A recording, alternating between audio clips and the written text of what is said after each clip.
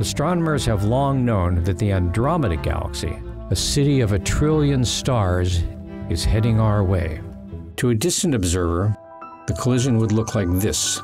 The two galaxies are expected to pass through each other in about 4 billion years, scattering stars as they pull apart and eventually merge to form a new galaxy.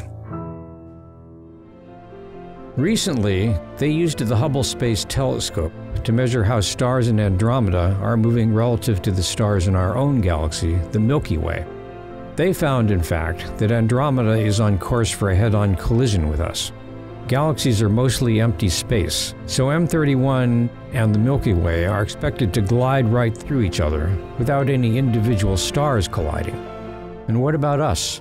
Our solar system might be thrown from its path around the Milky Way and orbit Andromeda for a while before being absorbed into the larger merged galaxy. The Earth might survive, but we will be long gone. Our planet will have been sterilized by a swelling sun long before that. In only two billion years, it will be here, and the sky will look like this for anyone and anything that might still be around to see it.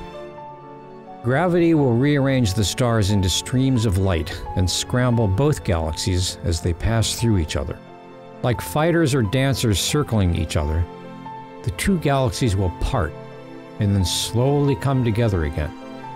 The death throes of the Milky Way will spangle its successor galaxy with new stars as clouds of gas and dust are shaken and compressed by gravitational interactions. After several billion years, they will merge into a single giant galaxy, a big egg shaped ball of stars.